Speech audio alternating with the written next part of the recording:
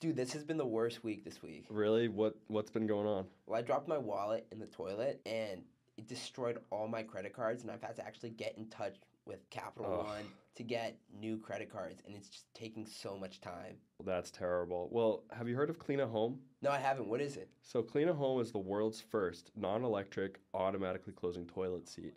Basically the way it works is after you use the use the toilet, leave the seat up. If you forget to put it down, the seat will automatically close after every single use. So you won't drop your wallet in there and you won't destroy your credit cards. Anytime you knock something over, you definitely don't have to worry about it falling into the toilet, you know? So it's a real game changer. It's been a real game changer in my life. So if you go to cleana.co, they're actually taking reservations for free.